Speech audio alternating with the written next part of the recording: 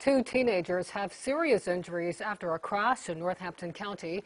It happened around 10 this morning on Cherrydale Drive between Purdue and Seaside Roads. Virginia State Police say a 16-year-old was speeding when he ran off the road and hit an embankment. Neither the driver nor his 16-year-old passenger were wearing seatbelts. Both were flown to Sentara Norfolk General Hospital. They have serious injuries. The crash is under investigation. Norfolk